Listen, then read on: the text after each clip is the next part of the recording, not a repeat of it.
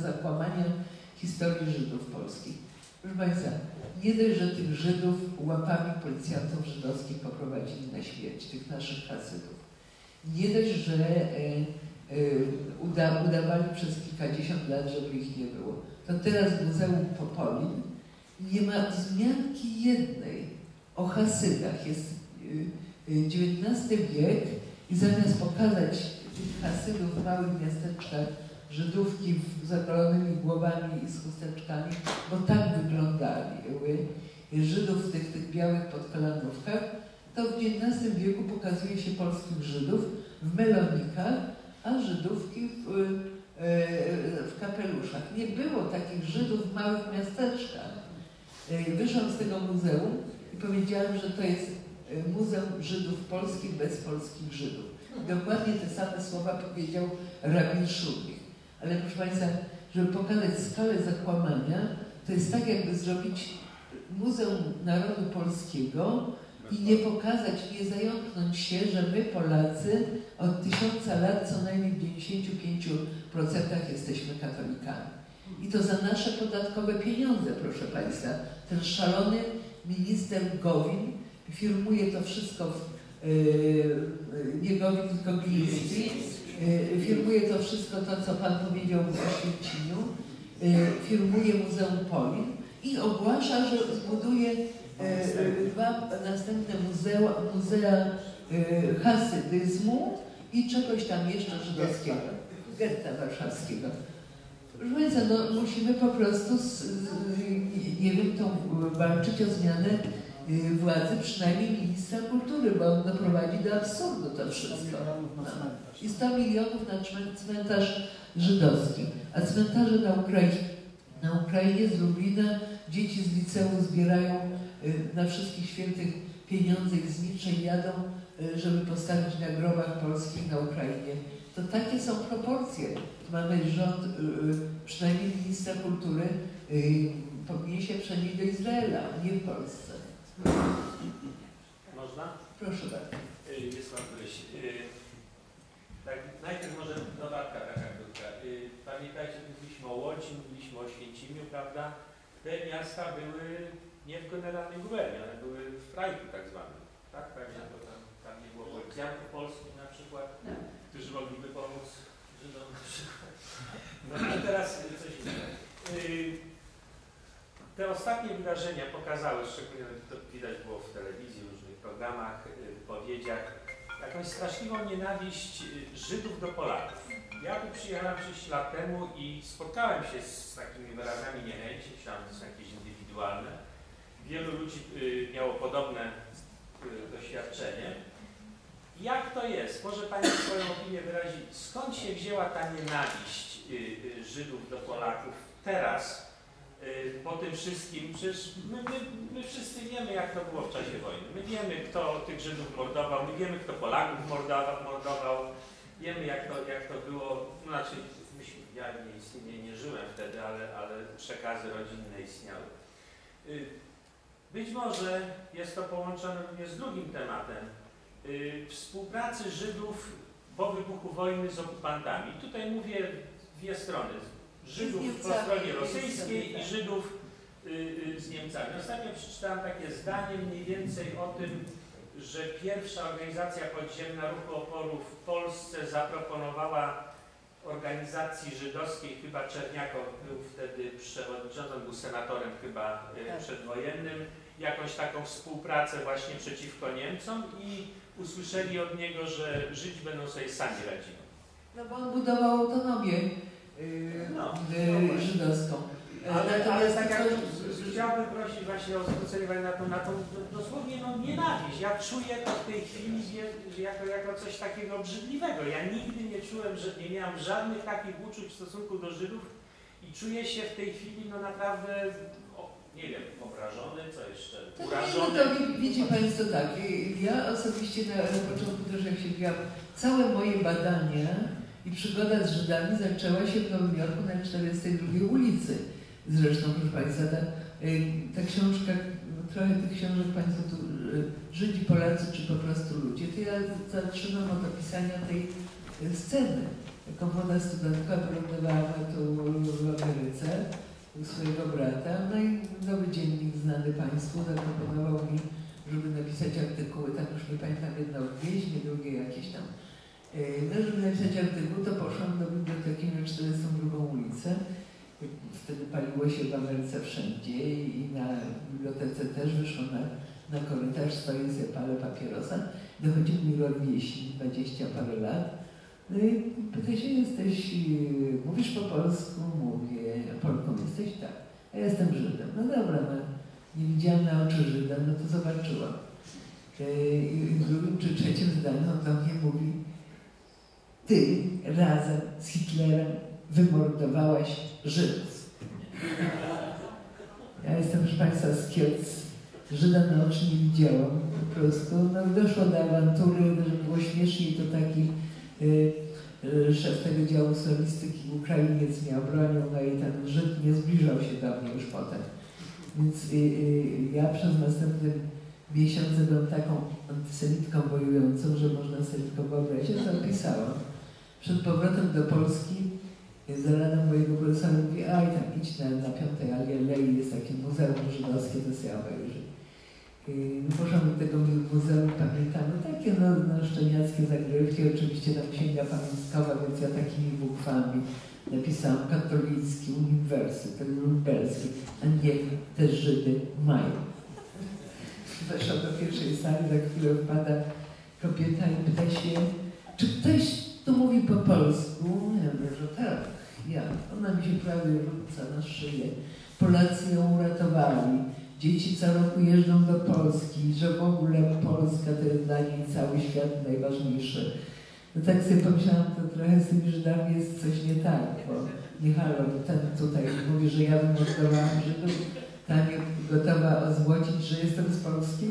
No ale tam sobie spokój wróciłam do Polski jak w 80 stan wojenny wprowadzili, ja zaczęłam pisać doktora, wymyślałam sobie temat, że, y, że napiszę o dzieciach y, y, polskich, oczywiście wywożonych na Sybir, bo moi rodzice przed wojną mieszkali na Wołyniu, ojciec był kolejarzem, byli świadkami tego wszystkiego. No i mój profesor mówi, no póki się wywołał, przecież jest stan wojenny, kto ci pozwoli taki temat? Weź się za zakony, za opiekę nad dziećmi polskich zakonów, zakonnic, no i będziesz miał wtedy wschód, wywożenie na Sybir y, i damy do zatwierdzenia doktora szedł do ministerstwa i idzie, a tu zrobimy taki tajny aneks y, o tym, o tym wywoły, o tej wywózce na Sybir. No i do dziś pamiętam, nie żyje już ta siostra, nazywała się Maria Sawicka w klasztorze na Żelaznej w Warszawie i opowiada, jak tam wywozili na Sybir w 1939-1940, a potem mówi, no a potem przyszli Niemcy i się zaczęło. Urszulka Paper, e, córka weterynarza. E, Żyd zdradził e, miejsce, gdzie ukrywali się rodzice i ona. I Niemcy wyprowadzili w Saborze na cmentarz wyprowadzili weterynarza, jego żonę jego córkę i tych dwóch Polaków, małżeństwo polskie, które ukrywało. I ona była, ona miała z 8 lat. Ojciec kazał jej uciekać, uciekła w krzaki, przybiegła do siostry Powiedziała, niech siostra będzie moją matką. I ta dziewczynka y, przetrwała wojnę y, i nie chciała, tak jak siostra powiedziała, pójść do Żydów, dlatego że Żyd zdradził jej rodziców. No i tak w tym klasztorze z tej, z tej epoki sybirackiej została mi książka Ucieczka z zesłania, y, no ale poszłam już z powodu tego głupiego Żyda z biblioteki na 42 ulicy. Pomyślałam sobie, a, ty Żydzie, pokażę ci w takim razie czy ja wymordowałam, na co chodzi. I tak się zaczęłam po prostu sprawa z Żydami, no i po, po tej książce Dzieci żydowskie w klasztorach no, powstało tyle pytań, że, że poszłam dalej. No ja to, ja radzę, odpowiadając na Pana pytanie, to proszę Państwa, podejdźmy do tego spokojnie. Ja może mnie łatwiej jest, bo tak jako historyk to mam taką perspektywę historii y, tysięcy lat. Z tym y, po pierwsze z tym antypolonizmem to mamy do czynienia nie tylko my, nie jesteśmy pokoleniem takim szczególnie wyróżnionym przez Żydów, bo to już trwa tak naprawdę na ostro, to trwa 100 lat. Y, dlatego, że y, Żydzi y, do, do czasu rozbiorów nie było problemu, oni zajmowali się handlem, tym, tym, tym My popełniliśmy Polacy, nasi przodkowie błąd, że nauczyliśmy Żydów polityki. E, w XVI wieku pozwoliliśmy Żydom e, założyć te ewenement na skalę światową, tylko my na to pozwoliliśmy. Ponieważ no była taka społeczność, my mieliśmy swój parlament, no to my wspaniałomyślni Polacy w XVI wieku powiedzieliśmy, Żydzi to też musicie sobie takie zrobić Sejm. I powstał w Polsce Sejm czterech ziem. Żydzi zbierali się, nie mieli stałego miejsca, wybierali sobie miasteczka i tam się zbierali. Sejm czterech ziem zjeżdżał się, ustalał wszystkie te sprawy żydowskie. Bardzo pięknie w źródłach y, polskich o tym jest napisane y, i y, ja zalecam naszej władzy, żeby wrócili do sytuacji z XVI wieku. Jeśli popatrzymy na źródła XVI wieku, zapisane na przykład po, po łacinie, to w królewskich dokumentach jest Judeamus qui nostra trona resident. Żyd, który przy moim tronie rezyduje. Ja to przeczytałam, szuka, szukałam o co chodzi. Naprawdę chodziło o to, że na obradach Sejmu Polskiego siedział król na tronie, a obok był taki mały stołeczek i siedział marszałek żydowski. I to był ten Judeamus qui nostra trona resident. Żyd, który przy moim tronie rezyduje, jako reprezentant po prostu y, y, ludności żydowskiej. Ale ten marszałek żydowski siedział na małym stołeczku i nigdy nie dyktował królowi warunków, jak król ma rządzić Polską. Jeśli do tego wrócimy stanu, to możemy prowadzić z Żydami biznesu, nigdy wcześniej. Jeśli chodzi o ten antypolonizm, proszę Pana, to zacznijmy też e, sięgnąć do czasów 600 lat przed Chrystusem. 600 lat przed Chrystusem Żydzi mieszkali między innymi w Persji. No i jak zwykle pewnie wtrącali się zbytnio w sprawy Persów, czyli e, na terenie dzisiejszego Iranu, e, że rządził w czasach rządu króla Ahasferosa E, jego doradca Haman powiedział, że trzeba z tym skończyć, trzeba Żydów wypędzić i wymordować, czyli szykował zagładę Żydów. Żydzi podstawili królowi piękną dziewczynę Esterkę, król się zakochał w tej żydowskiej dziewczynie. Efekt był taki już, bo to bardzo ważny dla, e, wątek dla wielu wątków rozumienia Żydów, ale jeśli chodzi o to, no to skończyło się tak, że tego Hamana, tego doradca króla, doradcę króla, który chciał wymordować Żydów, Żydzi zamordowali jego synów ileś tam dziesiątki tysięcy Persów. I od tamtej, od tamtej pory, czyli od 2600 lat, 2600 lat temu, Żydzi miano Hamanów e, nadawali e, ludziom, którzy nie pozwalali im na wszystko w swoich krajach. Źródła mówią na przykład, że było powstanie Bar Kochby 134 rok. To był ostatni raz, kiedy Żydzi trzymali broń. Dopiero sięgnęli broń, po broń w Powstaniu Warszawskim. Y, po 134 roku Żydzi uciekli na, z terenów Palestyny, z Izraela i rozproszyli się i Rzym, mieszkańcy Rzymu dali im schronienie. Dużo Żydów schroniło się w Rzymie. I według źródeł w IV wieku to miano Hamanów, Żydzi nazywali Rzymem Hamanami. Za co? Za to, że dali im schronienie. To jest absurd żydowski, zupełnie logiki, logiki w tym nie ma. Potem źródła mówią, że w wieku X-XI do czasu wygnania w roku 1209 albo 8 z Wysp Brytyjskich miano Hamanów nosili e, wyspiarze, Brytyjczycy. Potem E, nas nazwali. W XIV wieku król e, pozwolił mi się osiąść, osiedlić w Polsce.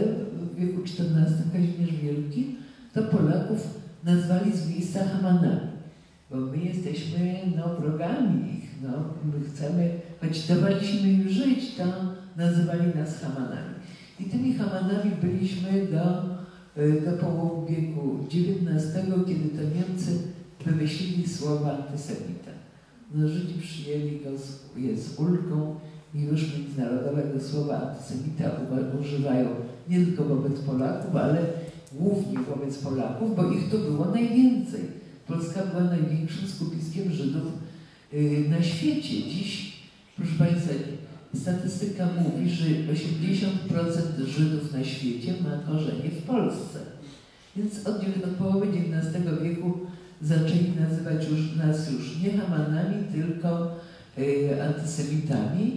I przychodzi rok 1918, my odzyskujemy y, y, niepodległość, wywalczamy sobie niepodległość. Jako pierwsza do marszałka Piłsudskiego zjawia się delegacja Żydów z żądaniami, e, przywilejami itd., itd. Choć przez 123 lata niewoli tylko 1,5% to są szacunki e, też Żydów przedwojennych, tylko 1,5% ludności żydowskiej wsparło Polaków w walce. No i sprawa się, że tak powiem, mówiąc brzydko, rypła już w roku 19, bo Żydzi jest zwołany Sejm Konstytucyjny, który ma uchwalić konstytucję dla odrodzonego państwa i poseł Grybał, ni mniej, ni więcej, to stenobramy sejmowe się zachowały, na szczęście nie przetrwały drugą wojnę e, i okupację.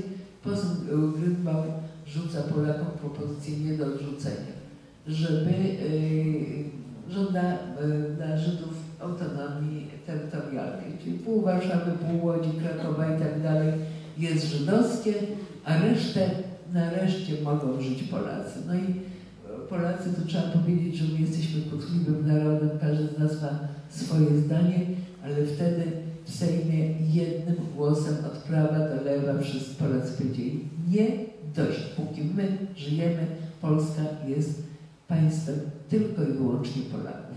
No i sen żydowski o tym, że sobie tu zbudują autonomię prysł przez 19 lat oczywiście i wtedy zaczęła się najostrzejsza fala anty, antypolonizmu.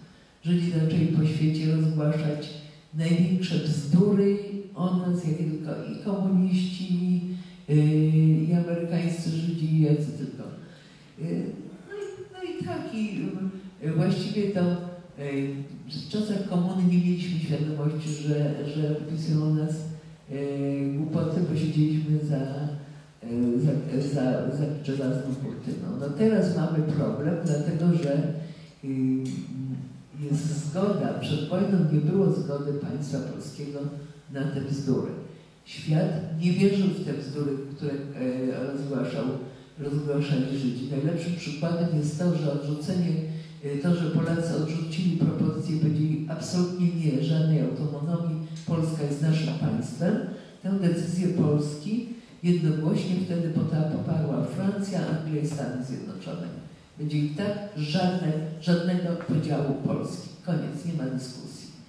No a teraz, e, no tu zgadzam się z Panem, że musimy wziąć karmę, w karmę nasze władze i zmusić je do tego, żeby zaczęły wreszcie działać, e, e, sprawować władzę i dbać o dobre imię Polski i o, i o Polskę, a nie o Żydów po prostu. To jest absurd, że polskie, polscy ministrowie bardziej dbają o Żydów y, niż y, y, o sprawy polskie, że ja to nazwałam publicznie szudlichizacją prawa, proszę Państwa. Bo cóż to było y, wstrzymanie ekshumacji? To było minister sprawiedliwości, którego z innych dziedzin bardzo szanuje świętej pamięci nasz prezydent Lech Kaczyński, który w innych dziedzinach był perfekt, tu dał plamę, dlatego że on, minister sprawiedliwości, nagle jednemu rabinowi Szludwichowi, który opowiada głupoty, podporządkował całe polskie prawo i wstrzymał badania historyków. I mamy kłopoty. No. Więc nazywam to szudrichizacją prawa polskiego. Ja mam pytanie na temat y, trochę statystyk i interpretacji. Y, w książkach Pani o tym pisała i trochę mówiła, że na, na ten temat 85% bardziej religijnych Żydów, 15% niereligijnych, z bardziej zasamodowanych, zasamodowanych tak? Powiedzmy 10% Żydów y, w Polsce y, przeżyło, tak? Nie wiem, jakie tam są dokładnie statystyki. Powiedzmy, że sporo z nich było albo od komunistów, socjalistów i tak dalej. Tak? E, Albo do polscy patrioci, powiedzmy, żydowskiego pochodzenia wymarli dlatego, że poświęcili swoje życie. I, y, 3 miliony w Polsce polskie Żydy zginęło, tak? Prawie trzy. Prawie 3 miliony. Mówi się o 6 milionach Żydów, y, które zginęło w czasie II wojny światowej. Całej Europie. Tak, w całej Europie. Jakie były mechanizmy, jakie były relacje, jakie były kategorie tych grup żydowskich, jak w jaki sposób Niemcy doprowadziły do likwidacji i eksterminacji tych 3, 3 milionów poza polskimi Żydami? Czy było podobnie, że były powiedzmy Czyli w te same, innych, te same mechanizmy? czyli w innych krajach było, tak? Tak, tak, że było podobnie te same mechanizmy, w sensie, że była ta elita, która w sposób Nie, w innych krajach było, in, e, w innych krajach było inaczej, dlatego że tam e, byli e, z reguły Żydzi, prawie w 100% Żydzi zasymilowani. Czyli Żydzi niemieccy mówili po niemiecku, francuscy po francusku. Bo to się ciekawe, e, to jest ciekawe, dlatego że e, dlaczego we Francji nie było, e, wszyscy mówili po francusku. To się wzięło od czasów Napoleona, czyli przed II wojną, 150 lat wcześniej. Żydzi tam jakieś żądania przedstawili Napoleonowi i on wtedy wydał dekret.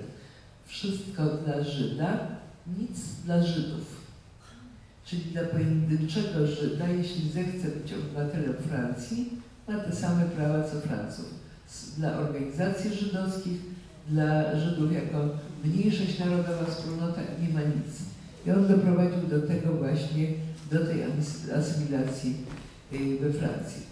W Niemczech to samo w innych krajach, dlatego że y, przez zachód Europy przez wiek XIX przetoczyła się tak zwana haskala, czyli hasło y, oświecenia żydowskiego, czyli właśnie uczymy się języka narodów, y, wśród których mieszkamy.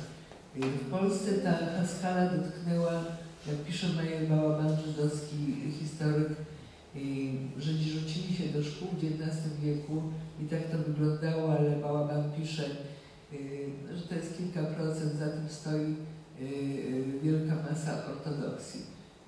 Hasydzi byli nieprzemakalni, ich ani Haskala nie interesowała, ani nic Żydów w swoim świecie, w swoich miasteczkach, swoje s- szabasy wyprawiali takim klasycznym przykładem, żeby zrozumieć, Y, y, Jeśli chodzi jeszcze, skończę statystykę, to ta statystyka os- 85% y, Żydów religijnych nie znających polskiego języka to jest absolutnie nie do podważenia, bo to wynika ze spisu ludności y, z roku 1931, y, w którym było pytanie o narodowość i język. 85% polskich Żydów podawało język jidysz, narodowość żydowska. Y, to byli Żydzi, którzy w takim miasteczku przed wojną można było się urodzić Żydem, przeżyć całe życie i umrzeć nie znając polskiego języka. Nawet podaję w której książce takie, y, takie y, y, zapiski, relacje Żyda lubelskiego, który tam jakby była druga wojna światowa, to on miał tam e, kilkanaście lat i opisuje swoje dzieciństwo, że nigdy nie nauczył się polskiego języka, bo e, nie miał okazji. E, Miał e, 12-13 lat i na pytanie, co to jest Polska, on nie wiedział. On nie wiedział, że mieszka w Polsce. Co to Polska? O co chodzi? Mieszkał na ulicy Lubartowskiej e, kilku, kilku przyległych. Mówił po żydowsku. Posłali go do szkoły, to taka wyszła ustawa przed wojną, że Żydzi muszą się polskiego języka uczyć. Wtedy powiedziała, to Polska, to te dzieci nie chciały, po co im to w ogóle y, wszystko potrzebne, to, to inny świat. Także Ale y, nie znaczy, chwileczkę. Jak- Pan jak- Polak, a później ojciec Jurek. jak- Jaki jaki był mechanizm, że na zachodzie, nie tylko na zachodzie, w innych krajach, te 3 miliony Żydów zostało wziętych zostało no, mechanizm był prosty. Francuzi, y, którzy mówią dziś, że, y, że Polacy są antysemitami, wy, y, wyłapali swoich Żydów, załadowali do wagonów i wys- wysłali do Auschwitz, znaczy do Treblinki. To samo w Holandii i, i w Belgii. Także nie zapominajmy o Węgrach. No Węgry trochę bardziej skomplikowane, dlatego że, że Węgrzy tam stawiali opór jednak tym, no ale i tak tych węgierskich Żydów też, yy, też yy, czy, czy, czy w, w całej Europie, także proszę Państwa, ja już mam dość Żydów, ale chyba jeszcze sił nie starczy, yy, to muszę napisać jeszcze jedną książkę, yy, czyli taką historię porównawczą.